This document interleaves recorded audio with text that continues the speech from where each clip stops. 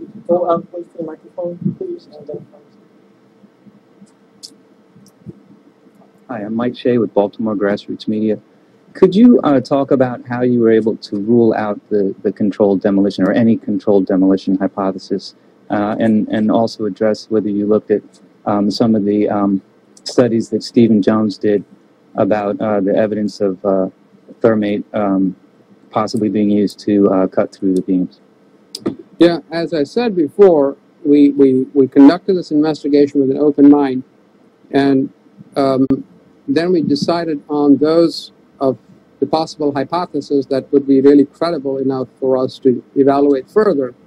And controlled demolition was one of them. And the way we proceeded to do that is, of course, there are many ways we could do it. Uh, you know, we could have done it the way controlled demolition is actually done in practice, where charges are placed on multiple columns, uh, which would imply a huge amount of charges to be placed. We instead decided, what is the worst case scenario? Meaning, what is the minimum amount of charge we could use to build this bring, building down? And when we looked at that, we said, well, if column 79 is, is in fact what caused this building to come down under fire, let's assume we have a, a charge that can be placed directly on column 79, which of course most people would not know is the critical column, um, just because that was not, we found that, found that out after the analysis of, that we did. So assume that we actually can do that. And as a result of that, we found that even the smallest charge would lead to an incredibly large sound half a mile away in an urban setting which would be as loud as a gunshot blast, as loud as an engine of a jet plane when it's flying, and as and 10 times louder than being directly in front of speakers at a rock concert. Yes.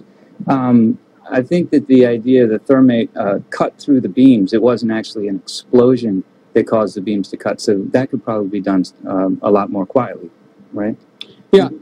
As Stephen Jones's work. Well, that the the issue of of uh, did not even uh, reach um, the, in our judgment, uh, a level of importance sufficient to, in fact, do a detailed analysis. We could rule it out fairly easily for several reasons. Um, one, um, in order for a thermate reaction to take place, there has to be uh, materials. And of course, building materials have all of the things that are required for thermite or thermate.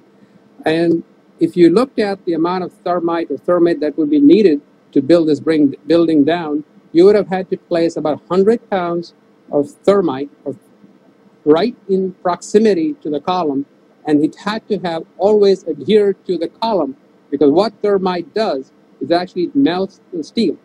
So somebody has to keep pushing it so that the thermite continues to be sticking to the steel, this vertical column, until it actually uh, collapses.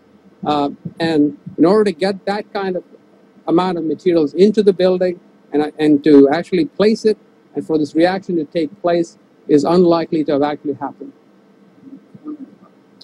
Uh,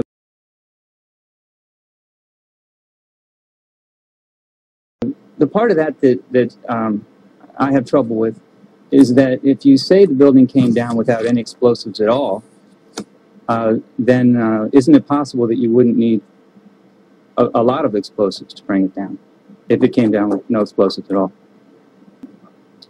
Uh, the part of that that, that um, I have trouble with is that if you say the building came down without any explosives at all, uh, then uh, isn't it possible that you wouldn't need a, a, lot of explosives to bring it down if it came down with no explosives at all? Repeat your question. If you're saying the building came down with no explosives whatsoever, uh, isn't it possible that it could come down with a smaller number of explosives than you estimate? No. Uh, the big difference is fire is a persistent uh, uh, assault on the structure. What? The explosives and the fire. Well, let me put it this way.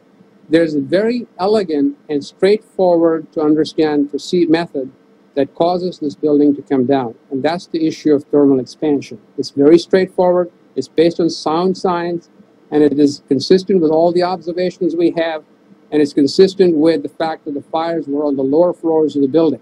But it never happened before, right?